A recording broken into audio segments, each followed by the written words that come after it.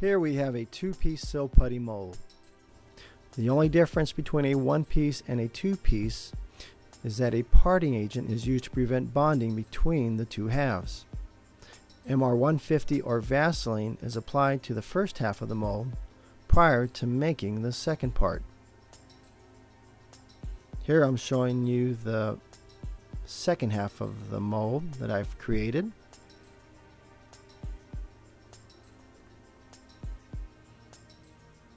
And this is the first half. Before I made that second half, I've carved out some holes or keys that will help align the two mold halves together. I used a tool to basically gouge out some holes. So when I applied the second half of the mold, it created these little bumps. Again, these bumps will align the mold halves together and make it for a nice tight registration. Now I'm preparing the mold for casting. I've used rubber bands here to basically hold the mold together and to keep it from leaking the liquid polyurethane resin that we're going to be used to make our parts.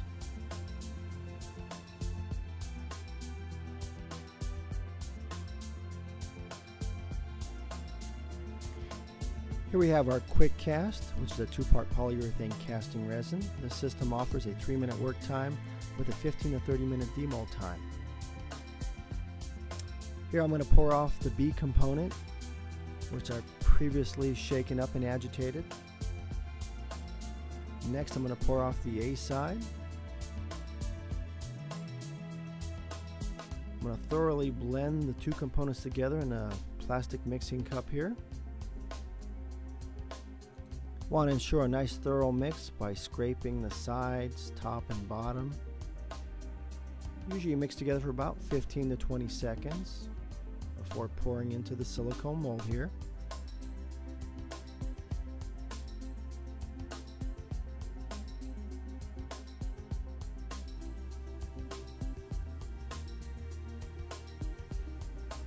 As I'm pouring into the silicone mold, I'm allowing the material to seek its level here, filling up that mold cavity, tapping the mold, making sure all the air bubbles are floating to the top surface.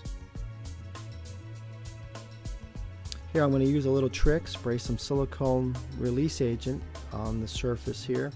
Helps minimize the bubbles on the top surface of the part I like to have a, an extra mold next to me and handy so I can pour off any excess resin. Just trying to be economical here. As you can see the material is heating up and changing color. The Quickcast is a white resin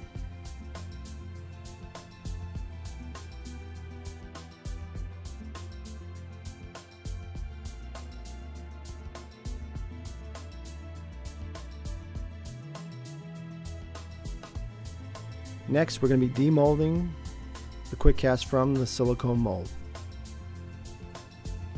Carefully taking off the rubber bands on our silicone mold here.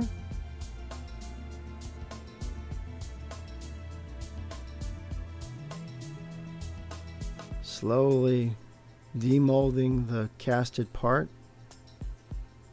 Slowly working my way around the, the casted part here cleaning up some of the flash, which is just excess resin. Trimming it down. It's easier to do it while it's still a little green, not fully cured here. The resin's maybe a little bit flexible. And of course a little warm. And here you go.